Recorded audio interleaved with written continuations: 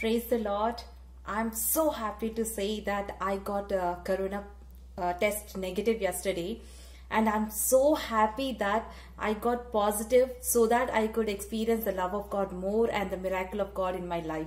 On 12th I got uh, fever. It was it went till 1 or 2.8 and I felt little breathless but immediately I started praying. I was holding fasting for 3 days and uh, when I when I got the fever I got uh, tensed because the symptoms seem uh, the symptoms doesn't seem good. I started praying and i sent requests to all the all the people in my contact list. I sent requests to churches. I sent requests to the prayer partners who are in my contact list and i sent requests to council people and everyone.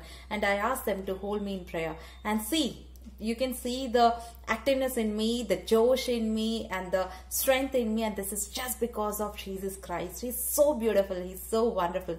During these 15 days, I didn't feel even one single symptom again. That was the last fever I got.